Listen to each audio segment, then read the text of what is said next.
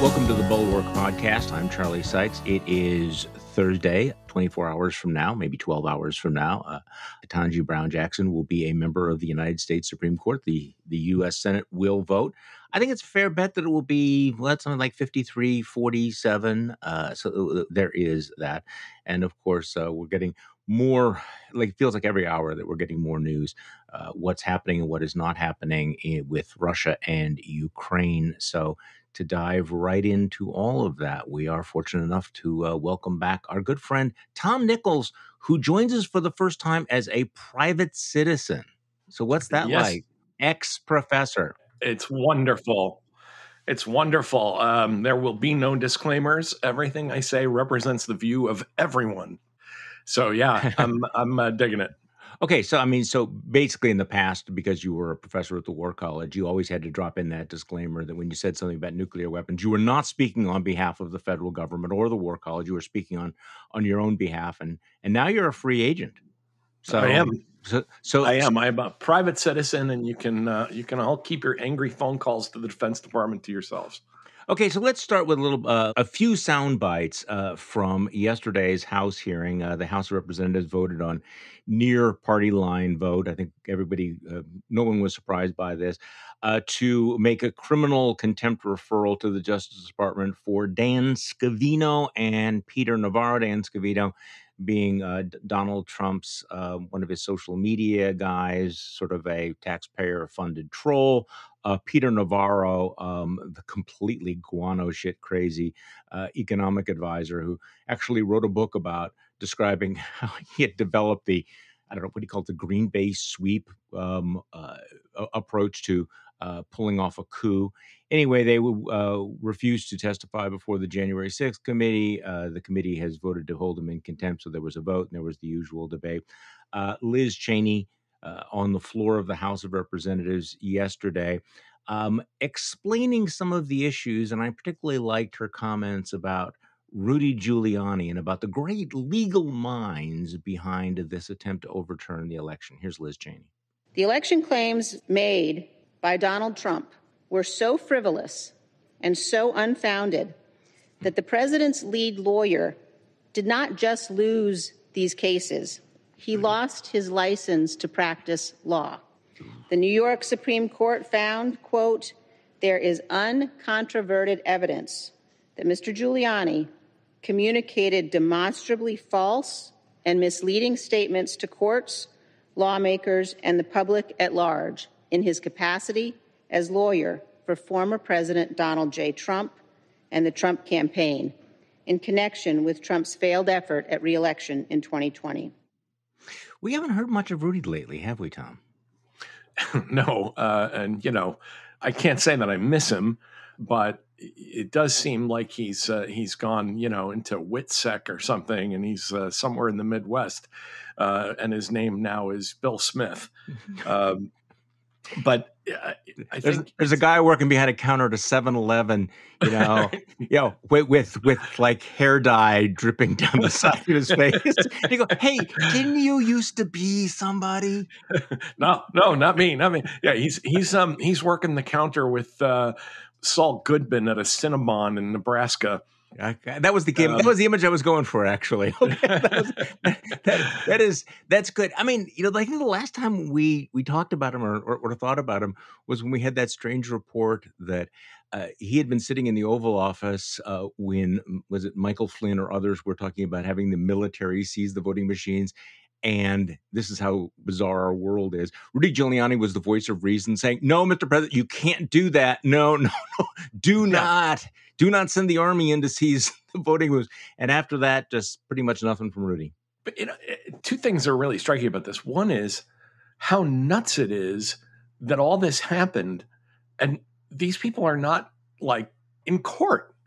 Yeah. I mean, I keep thinking back to Watergate, right? And if you think about Watergate, you know, some some morons break into the Watergate, and then a lot of the president's men go to jail for covering it up and lying, uh, you know, and perjuring themselves and trying to suborn other parts of the government to be part of the cover.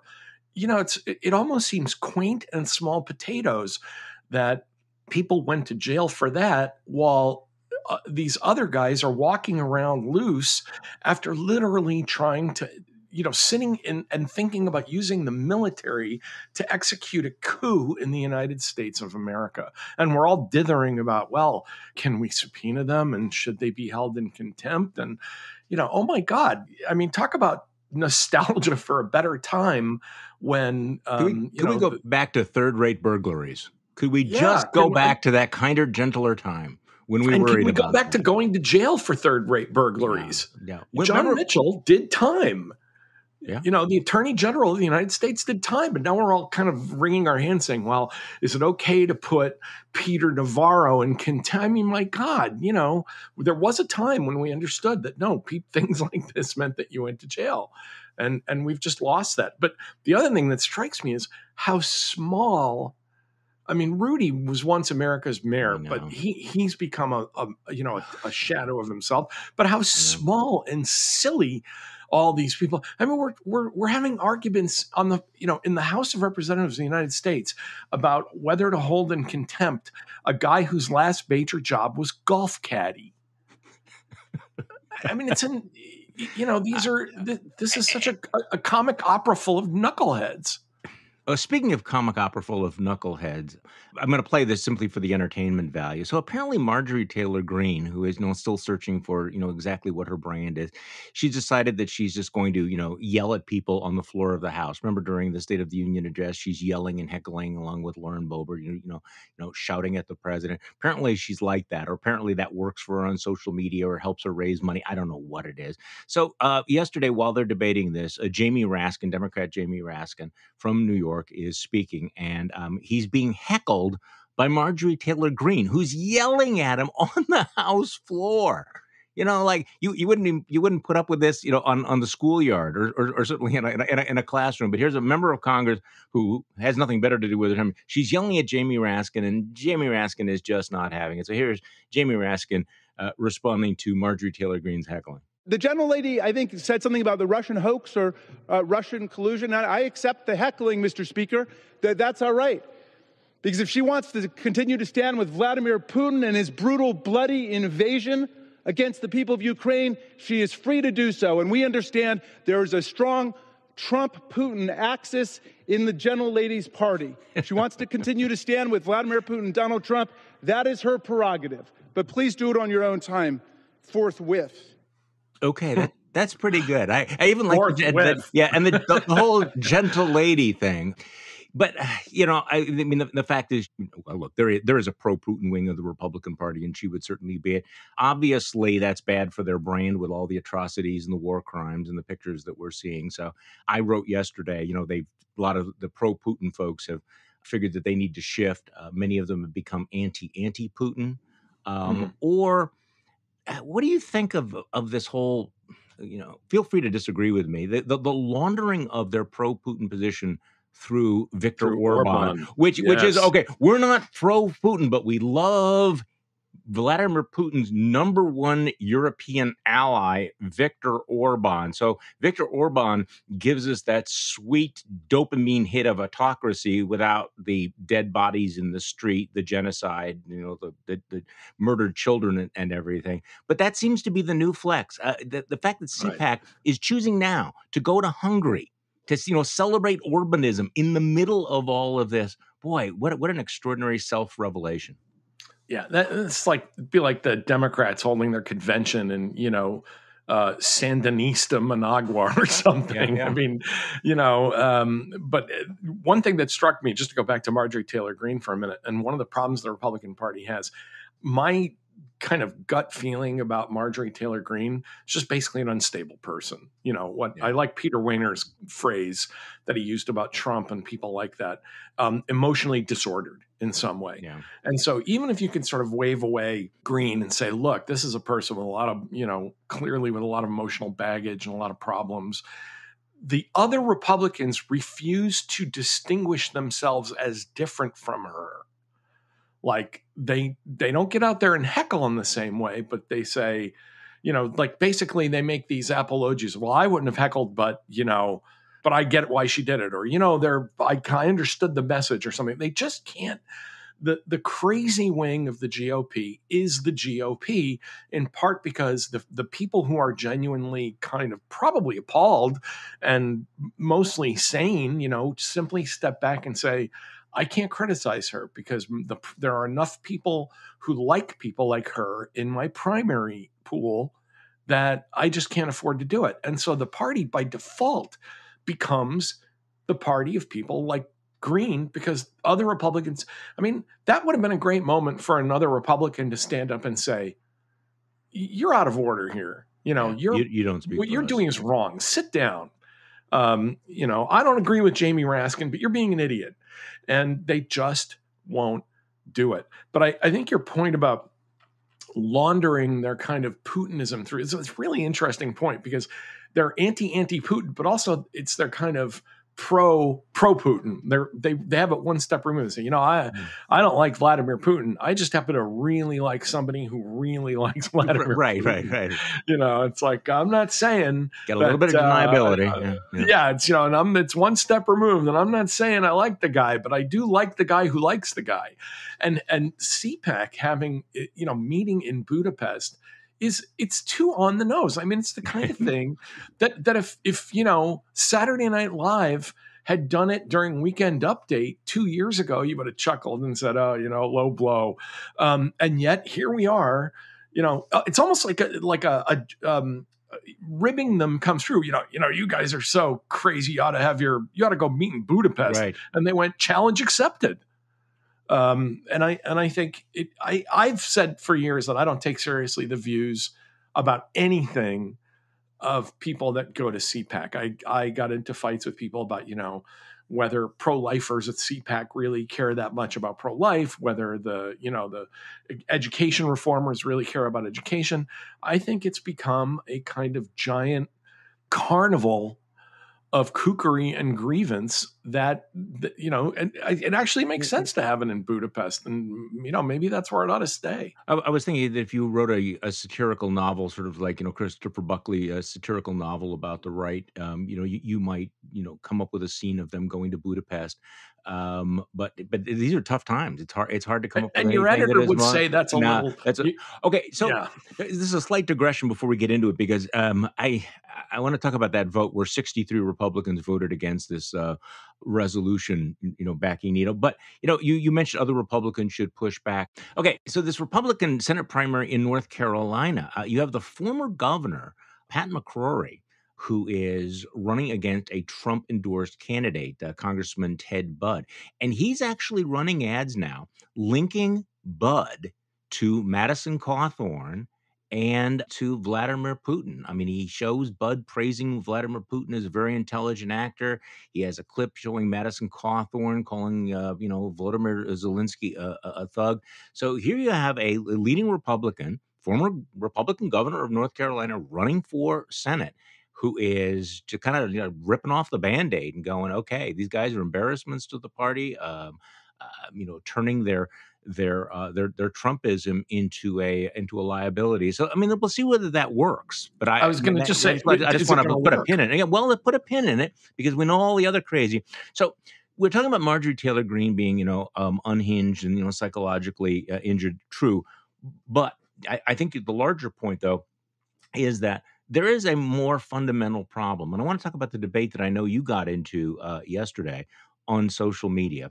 Um, after you commented on the fact that 60, me in a debate on social media, no, it, it does seem sort of it does seem sort of redundant to say that, right? But 63 Republican congressmen voted against a relatively anodyne resolution talking about the unequivocal support for democracy and for NATO and uh, you know of course there was the usual of you know anti-antis out there the turd polishers who were saying well look there's only 63 that's only one third the vast majority of republicans still voted uh, for the resolution. But I, I think you made the point though. Look um it's uh you know this is perhaps i don't know whether you were making this point actually but whether this is you know, a an ominous leading indicator when you have that many Republicans voting against something that feels like five minutes ago would not have been co- controversial at this particular moment. At this moment, that you would have one third of the Republican caucus vote against that is. Um, I, I, I, think an indication of, well, of how unhinged uh, certain factions are of the Republican Party and how unreliable they are on issues of foreign policy. Yeah. And, and let's talk about it from the point of view of you know what professional political watchers would immediately note here, which is that Kevin McCarthy does not control his own caucus. Yeah. The the future Speaker of the House literally unset because you know and those of us who've worked in politics, you know this, Charlie, from long experience. Yes, there are moments when the leader of your caucus lets you take a walk, um, lets you go off the reservation, cast, you know, doesn't whip a vote, whatever it is. On this, the idea that you would have this embarrassment where a third of your caucus d- draws attention to your party as basically being anti-NATO during a war crime filled ram- Russian rampage in the middle of Europe tells you that on even something, and I, I think your word's exactly right, anodyne, something as anodyne as a hey, you know, yay, NATO. It's yeah. good. It's good that we have NATO. Yeah. That you can't get your caucus to you know uh, um, a hundred or you know ninety nine point nine percent that you give the you give the couple of freaks and geeks you know they're they're out because you can't ever control them and you know hopefully they will be primaried or sent home. But that that you lose a third of your caucus and have a needless self-inflicted wound on your party as the future speaker of the house tells you that someone else controls your caucus. And in my case, and what set off my old mm-hmm. friend Jay Caruso, I said, well, this is pretty much Fox, proof that Fox pretty much runs the, entertain- the, the entertainment wing. The entertainment yeah. wing. And I quoted you, right? Yeah, the entertainment right, right. wing of the GOP runs the party. And um, you know, I, am sorry, but if the if the Democrats had had a similar vote on you know this for the democrats the equivalent would be something like isn't it great that we have a department of education? Mm-hmm. right? You know and a third of the democrats just peeled off against pelosi. The dems in disarray headlines would be all over the place. And it would be look you know um, uh, the far left you know the rose rose coalition controls the dems. You know the bernie sanders hyper socialist tankies are running th- you, you get none of that. All of a sudden it's you know the basically the weak beer answer you get is hashtag not all republicans right. which is just not an answer. Well no it's not an answer but but okay so here's here's the and the, there's an image in my head here because people who make that argument can point to the polls showing the overwhelming majority of Republican voters support NATO, support Ukraine, etc. They point out that you know a strong majority of Republican elected officials also support Ukraine, support NATO. All of that is true, but we have lived through this before, and the image in my head is that cloud on the horizon, you know, that dark cloud, and it's coming our way. And, you know, in the past, we might have said, okay, we don't need to worry about that. But we've seen how these things come and they overtake the party. And the main reason why you need to take this seriously is the fact that not only do you have the entertainment wing of the party, which would, you know, obviously include people like Tucker Carlson and Laura Ingraham, weirdly enough, not Sean Hannity at the moment, but you do have that that entertainment wing of of the party taking this position. And of course, you have the former and perhaps future president of the United States, yeah. who clearly um, provides aid and comfort to that wing. Uh, which faction of the Republican Party is Donald Trump most likely to ally himself with? And we know the answer to that. So, by definition, we know that we need to take it seriously. And also, based on past practice, we've seen how the fringe becomes the mainstream. We've seen how the unthinkable becomes the thinkable and then becomes the orthodoxy and then becomes the absolute litmus test. So this whole hey, point, no, nothing here to see. Sixty-three people, you know, sixty-three Republican elected officials vote a, a against NATO. No, nothing to see. nothing to see. Yeah, bullshit. And you're the point you started with, which is that well, you know, there's an overwhelming majority of Republican voters who support NATO and and are on Ukraine's side and stand against Russia that makes this vote even worse because it tells you yep, yep. that at least a third of the Republican caucus doesn't care what its own party thinks, which raises the question, which is what I was doing on social media, of who do they think their actual constituency is?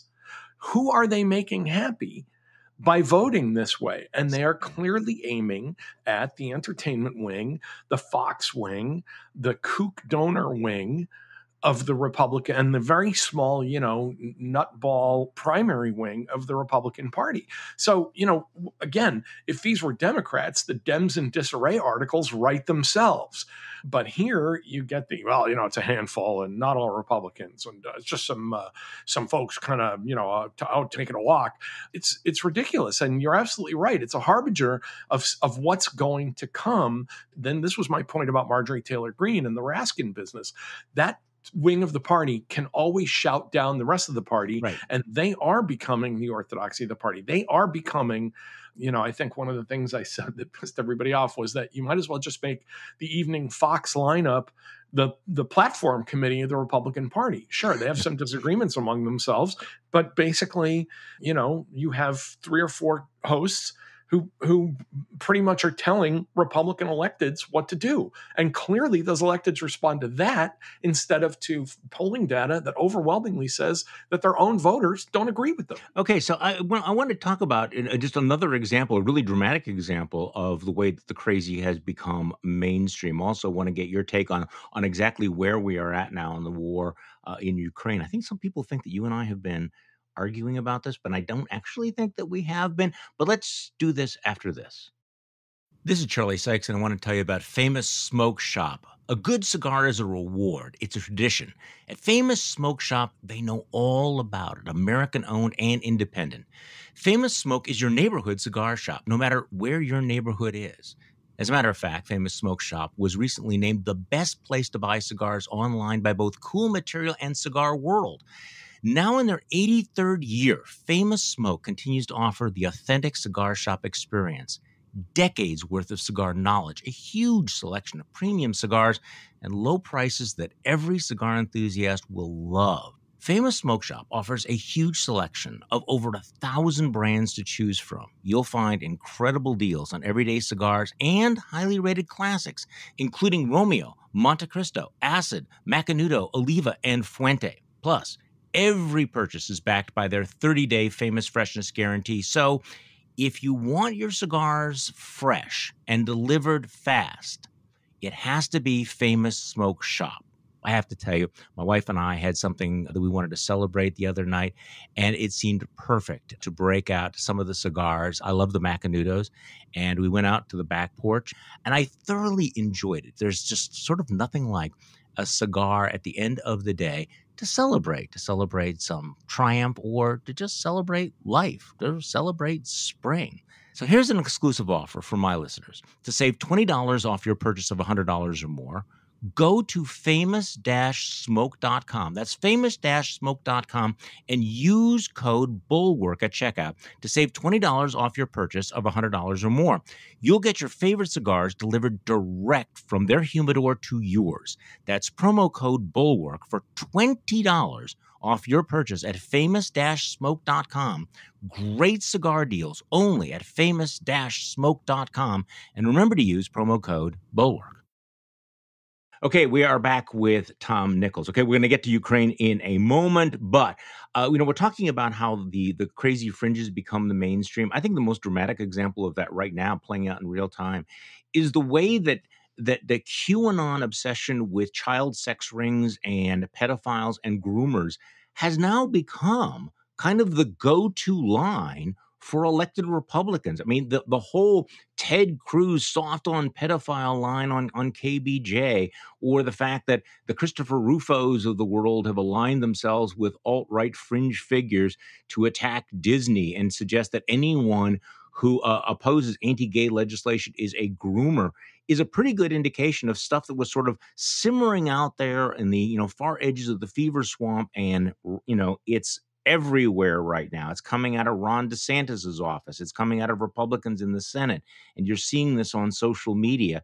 A really extraordinary moment. So, your thoughts on this whole flex where anyone who disagrees with you must be pro pedophile or a groomer? Well, uh, I'll just put in a plug for the last book I wrote, which you know kind of predicted this this craziness spreading because again why you know why is this happening at all? It makes life interesting. We have this vast bored middle class um, who just you know for whom trying to figure out local bond issues or tax rates or the things we used to vote on back when we were a not you know psychotic country um, is too boring. And so this is this is like the new hobby that people with too much time on their hands have descended into and what the republicans have figured out is there's a huge pool of votes to be harvested from that um, that you can you can't get people all excited i mean it's almost like you you know you can't get them excited even about the old red meat stuff of um, you know gay rights and abortion and all that stuff. Now you have to kind of pump it up to you, have got to turn that up to eleven, and um, you know push it to pedophilia and and um, groomers and Disney. I mean, it's almost like the satanic panic of the 1980s. You remember that? Remember? Oh yeah. This, this giant freak out the nation had that daycare centers were actually um, and really, what it was was a psychological breakdown in. America about people feeling guilty about sending their kids to daycare while they went to work. Um, but you know, people ended up in prison for years um, for these, you know, crazy stories about repressed memories and satanic rituals and all kinds of you know complete nutbag stuff um, that was 35 years ago, and it's happening again. But I think what's fascinating is that instead of being the party uh, that I thought I joined when I was a young man, of kind of the the level, um, you know, stoic, cold voice of reason, the Republican Party has become this bunch of howling, freaked out drama queens. And you have guys who've said, hey, if that's what I have to do to stay in power, if I have to service that you know, conspiracy addled bunch of loons in order to go to Washington and then never have to live near them again, um, so be it.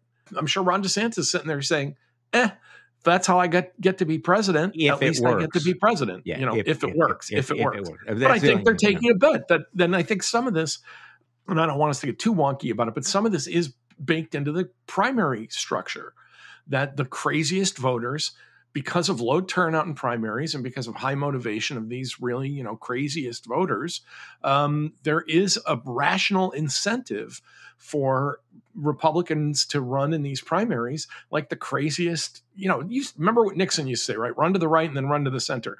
Well now it's not just run to the right it's run to the run off the edge of the earth and and scoop up as many votes as you can from the crazies and then hope that you can kind of come back and actually you know run a general campaign. I mean it's it's it's almost like a it's terrifying to me because it's a breakdown of of anything like um, an informed democracy.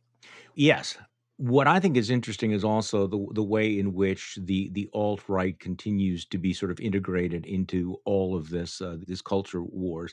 And again, this is very much a different trajectory than you might have had back in the, the '60s when you know William F. Buckley Jr. and others said, you know, the John Birchers need to go. We can't have you people here.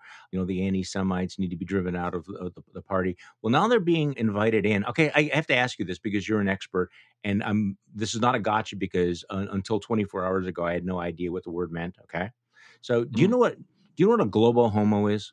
Uh, because I you, you not. You're pushing a globo homo agenda. Okay, I'm glad to hear that because I did not as well.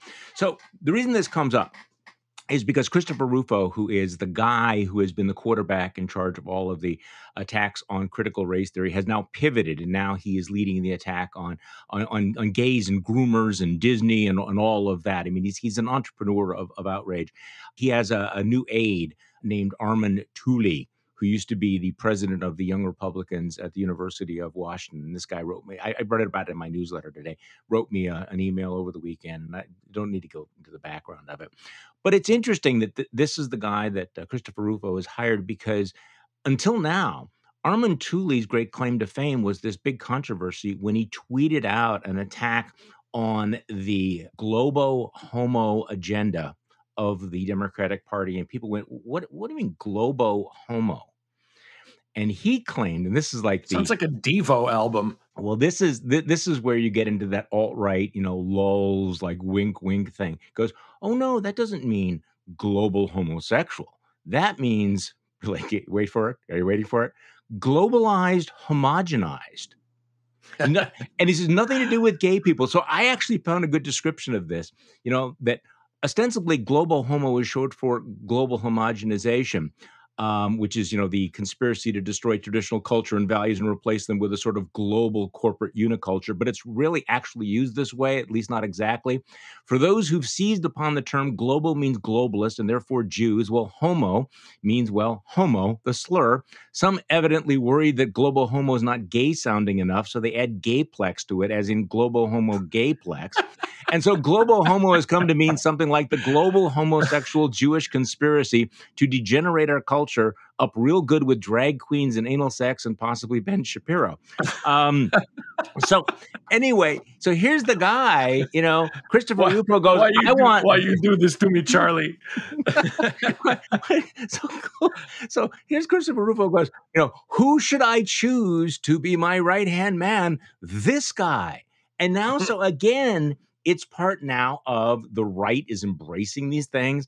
And the guy who was t- like five minutes ago was tweeting Pepe the Frog and had his his avatar picture of himself with the mother of the Groypers, you know, the, the really virulent uh, right wingers, uh, Michelle Malkin. You know, now this guy is like right there and he's in the cockpit. And so this is again, how does the extreme become mainstream? And will there be any pushback?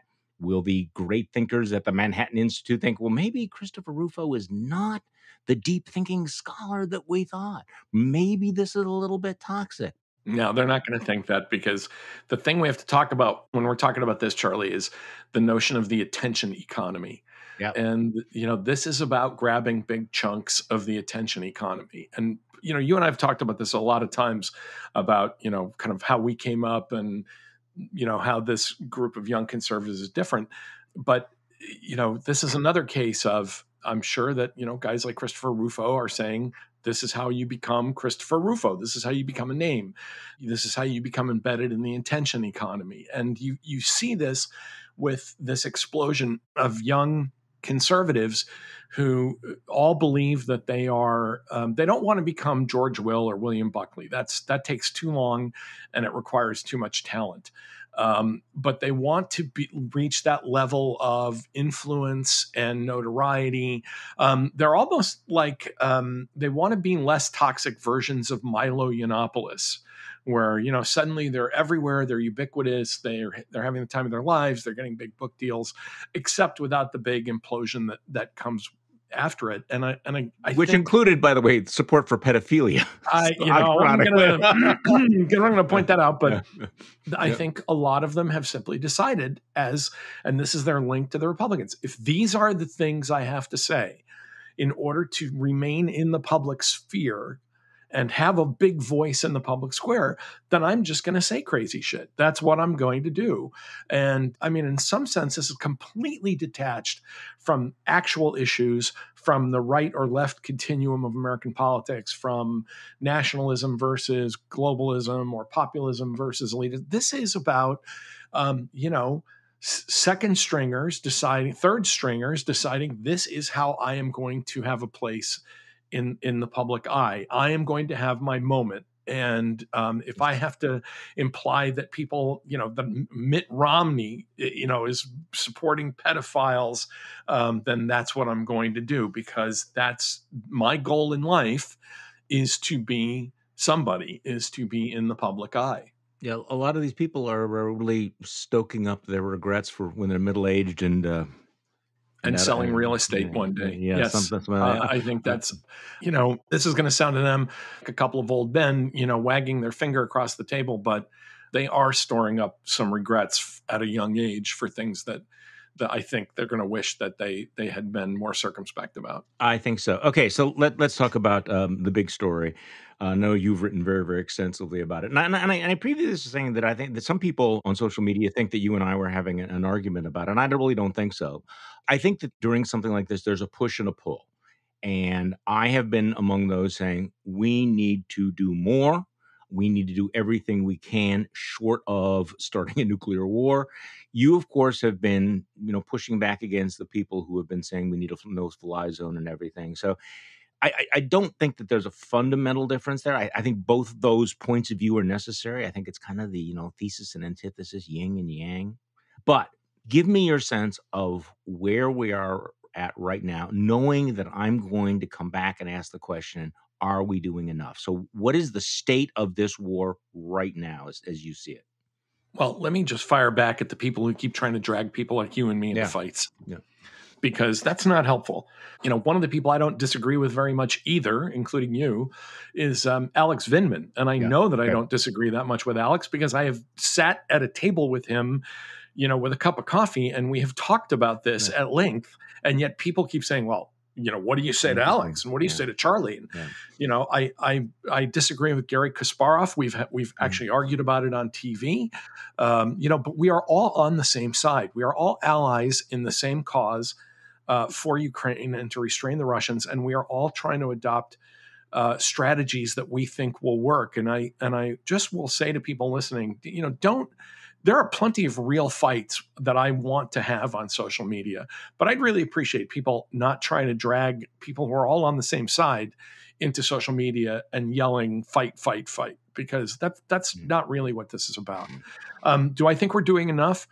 Yes, um, and I think we could even do more. We can speed up shipments of lethal weapons, you know, and lethal weapons as opposed to purely defensive stuff like flak jackets and whatever. Mm-hmm. Um, more stingers, more javelins. This always comes back to the but should we have sent the MiGs? I would have been okay with getting the MiGs there somehow, but we talked about it too much and we turned it into an issue and we handed that to the Russians because everybody involved, the Poles, us, the Germans, we all kind of talked it to death. I, I said recently in another um, context, I said, you know, the first rule of covert aid club is you don't talk about covert aid club.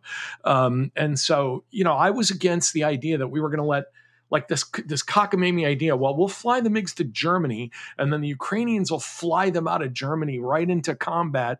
You know, the Russians. That's really a dangerous thing to do. And just to explain to folks who don't do this for a living, the Russians would then say, These were attacks on Russian forces. We have identified where they originated from.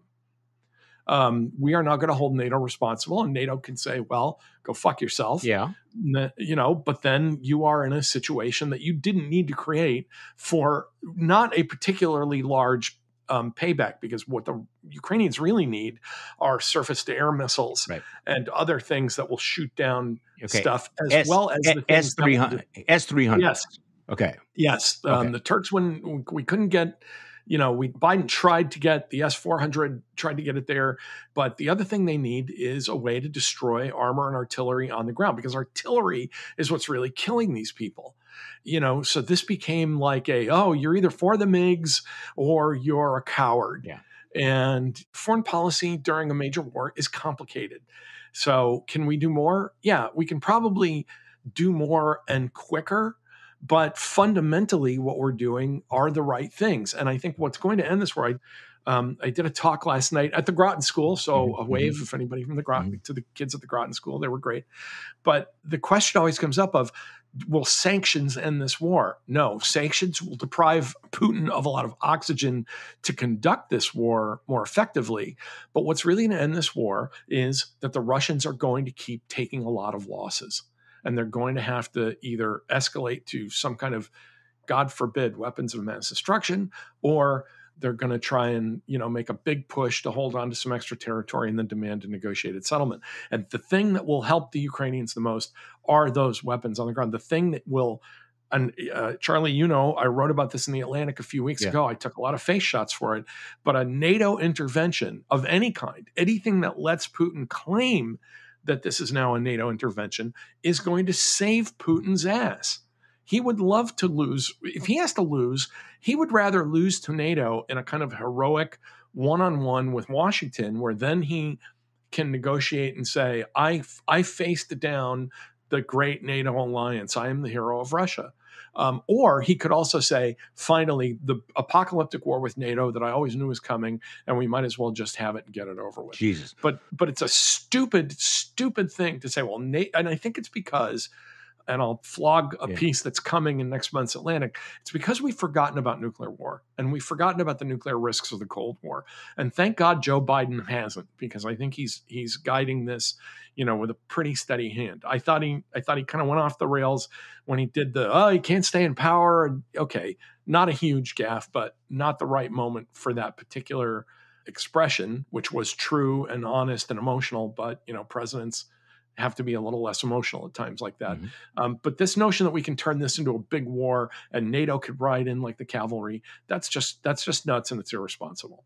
So let's talk about these weapons. The S three hundred is a very very you know powerful anti-aircraft system that can take out high flying uh, airplanes. The the Ukrainians have made it very clear they really, really would want it. That clearly would be something that would meet the need. Um, it seems like the response to people who say we need to, you know, close the airspace. We're not going to have a no-fly zone. Apparently, we're not going to give them the MIGs. So the S-300s or something equivalent to that seems to be the answer. Why are they not there right now? Yeah, I don't know. Um, this is where I don't know enough about the the logistical trail and the approvals to get them there and so I, I, mean i could make up an answer but i think it's always good for an expert every now and then to step back and say i, I don't know charlie i don't know why they're not there yet see this is your this but okay. but notice i just want to point out one thing yeah. notice that it has gone and and wisely zelensky even has gone from no fly zone which was not which right. is a dangerous and bad idea to close the skies which is a different thing entirely um, you know you can close the skies and, and make those skies unflyable, especially for the unbelievably craptacular Russian Air Force. Um, you know, which is just I whose whose low expectations I had for them have been met, and then they got under them somehow. Um, so you can close the skies and make it you know exceedingly dangerous for the russians to fly but they are going to need those systems and they still need the I, I, think one of the unsung heroes of this um, you know, in terms of the equipment, has been not just the Javelin, but the British NLAW. Um, oh yeah, absolutely. Has been a remarkable thing, you know, that that the Russians. I mean, it's almost like the Russians just didn't understand that they were fighting a 21st century adversary, and they're paying for it. The NLAW seems to be doing for tank warfare what the longbow did back in the Middle Ages. It seems to change the rules of the battlefield. It has, and you know, the ability of every infantry guy to be a, a one man tank killer with something light and portable is really a pretty remarkable revolution. I don't want to say a revolution in warfare because that always makes yeah. people at the Pentagon think uh, that they've discovered something new. But it is a it's a quantum achievement in changing the battlefield, especially when you're fighting an enemy who thinks that tanks are you know indestructible and that artillery is everything. And that this is changing things. So i'm, I'm going to go for a twofer here. I'm going to be over my skis as well as showing my age when i ask this question. Why have we not heard about the exocet missile in terms of in terms of ship killing especially oh, Charlie, oh, my old friend. Yeah. Back in the Falkland yeah. War. At some point, I mean, is is that is that now an obsolete technology? Are there other uh, ship killing missiles that we could provide them that might defend Odessa? I, uh, I'm glad we both remember the age of sail. Um, I know it. I just um, walked right into it. But there are ship killing missiles, and um, Biden's going to provide them. Um, that that there are going to be um, anti ship defenses, and I actually haven't seen the you know the bill of lading here, but the last go around, my understanding was the Biden administration said that yeah that they're going to provide anti ship defenses, and again the Russian Navy I, you know, I, I don't want to speak directly to the mm-hmm. enemy and give them advice, but dudes, when you pull a ship into an enemy harbor that you don't control, the ship's going to get blown up. Um, and yet they're doing this. I'm like, you know, I, I, I'm, I'm not a professional Navy man, and you know, I taught at a naval war college for a lot of years, and I'm just an interested observer here. But pulling a ship into a port that is not under your control in a hostile environment, and, and then being surprised when the enemy who controls that port blows up your ship I mean, this is this is just rank incompetence at all levels. And I think when the Ukrainians are even better armed for those kinds of moments, it's even going to get worse. And there is one danger I want to add to this: yeah. that the danger that the Russians are going to do something really off the hook actually increases with the more poorly they're doing on the battlefield. So we need to brace ourselves for that because they are losing on the battlefield and they're taking remarkable levels of casualties and equipment losses. And I'm not sure Putin, you know, we kind of, Admiral Kirby the other day kind of trolled Putin about this, where he's like, I'm not sure that President Putin really is getting, you know, the truth from his own guys, um, which to an intelligence officer is a grave insult. Um, but he may not be. And I'll be curious to see when somebody finally comes in with the butcher's bill and says, you know, this many tanks, this many KIA, this many WIA, this many airplanes lost, this many ships sunk, that um, he's he's going to want to change the dynamic out by by doing what? What are you most concerned about? I mean, I, I, are we talking? We're talking about chemical weapons, tactical nuclear weapons. What? What? Are you, what, what, are you? What are um you most concerned about? What? Is, what is the most likely bad outcome? I did warn early on that he would start committing war crimes and atrocities to try to draw the foul, to to intimidate the Ukrainians, maybe to provoke NATO. So the war crimes, I, I figured would be the first, the go-to move, and that's turned out to happen. I wonder if the chemical provocation got um, short-sheeted by the Biden administration and the Europeans, who I think have been really great on this, by the way, by revealing intelligence, saying. Yeah a chemical attack's coming. It's going to happen. Brace yourself for it. And then Putin goes, well, shit, you know, like, you know, now there goes a lot of our preparation for a false flag event. A tactical nuclear weapon, I'm sure Putin has thought about it because he's that kind of guy. If there is going to be one, because this is what made me think of it when you talked about the Black Sea, use of a nuclear weapon at sea makes a lot of sense in that sense. I mean, insofar as anything makes sense. What, what would the target be? It, well, it could be it could be um, outside of a Ukrainian port, but far enough at sea so that it's not actually landing on land and creating a lot of radiation. So pretty much um, like a demonstration, just like I'm, yes, I'm going to show I'm prepared right. to do it. Don't push me any right. further. Okay. And and yet I've done it in a place where no actual territory has had, you know, that it's it's within sight. It hurts a lot of people. It might take out some ships. It does some damage, but the actual, you know, target location is a, just a grid out on the water somewhere. Yeah. I'm hoping that he's not that stupid and crazy. And I'm hoping as well that there are people, even in a Kremlin as tightly controlled by him, that are saying, uh, look, you know, Mr. President, I'm your guy and I've been with you all along but you need to take a nap and think about this one, you know, before we're going to go down this road. I suspect rather what you're going to get, and I think uh, that's a very low probability event. So let me just say that before anybody panics out there. Mm-hmm. But I, uh, my expectation is that the butchery. I mean, he, if he really has decided I, I can't leave this war without Mariupol, then yeah, he's going to flat. I mean, it's already ninety percent destroyed. If he if he has to control that by reducing it to dust, then he certainly will do it. And again, we need to be braced for it because I think he actually knows that atrocities get this coverage and he's trying to shake the Ukrainians and shake the West. Uh, there's one other thing I want to, and then I'll stop. That, that doesn't seem to be working. Yeah. No, it's not working. No, no. The other thing, though, is, and a friend of mine who's got you know some pretty deep Russian knowledge and and um, whose views on this I respect, he pointed out to me the people in Bucha, for example, they the Russians may have been massacring them not because they were defiant Ukrainians, but because they were Russian speakers, and that the Russians said, "You traitors did not welcome us as liberators." Um, and you know, here's what we do to traitors. Uh, and that that's a warning to the people in the Russian speaking areas they already controlled, as well, you know, to let the story get out to um, you know to people inside Russia that um, this is how anything but absolute okay. support will be dealt with. Okay, this this leads me to my my final question. I, I promise, um, because you're a Russian speaker and you are an you actually are an expert in many things Russian. There have been a lot of uh, polls out showing that Putin has overwhelming support for this war. How reliable, how credible are public opinion polls taken in Russia right now with this atmosphere, where where the question seems to be? And I saw somebody on Twitter making this point: people saying, uh, "Do you support the war, um, or are you willing to say something that might get you 15 years in jail?" What do you? What is your sense of this? Because this seems to be shaping a lot of conventional wisdom and reactions that that the Russian people are solidly behind this. But I don't know. I'm trying to imagine a free, fair, secure poll being conducted in this current environment. What do you think? Well, there's a few ways to peel that onion. One is, um, yeah, polls in Russia are, you know, uh, lol, uh, as the kids yeah, would yeah, say, yeah. you know, um, lol.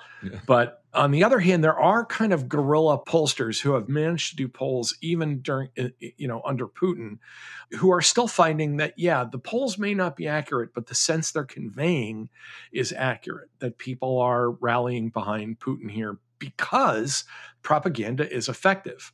But I will add that you have to look at those polls through a generational lens. Older people are solidly behind Putin because they've always been behind Putin. Um, you know, these are the guys that are now, you know, um, sad to say, my age, you know, 60 ish, people over 50 anyway, um, who are you know pretty pissed about the fall of the Soviet Union, and they're totally believing the the propaganda they're getting on Russian television, which is crazy, by the way. Um, you know, Julia Davis, one of our friends on yeah. Twitter there who spends her day watching Russian television, she's pointing out that the the hosts on Russian TV are yelling at pro Putin guests for not being harsh enough. Yeah. Um, you know, so you've got that dynamic happening in, on Russian TV. And for those older Russians, that is their world. They're like the Fox viewers of Russia. They don't know anything else but what they're seeing there.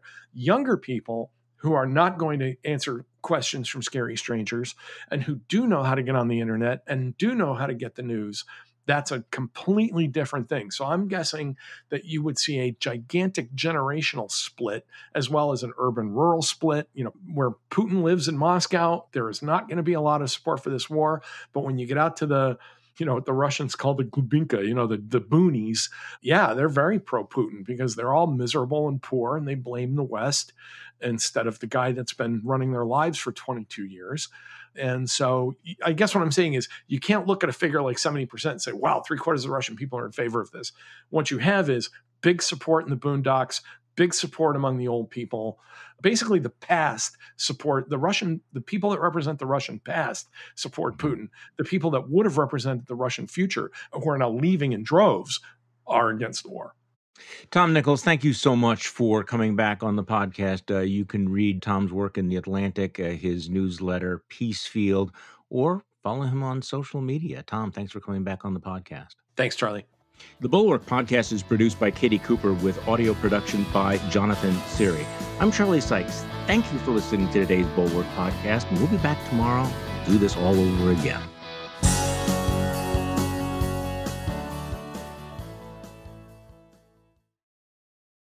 We're all juggling life, a career, and trying to build a little bit of wealth. The Brown Ambition podcast with host Mandi and Tiffany the Budgetnista can help with special guest Chris Browning. You know, I'll give a shout out. I have two coworkers, Mandi, who love your podcast. They found out about me podcasting because of the last time I was on on your podcast. That's Brown Ambition.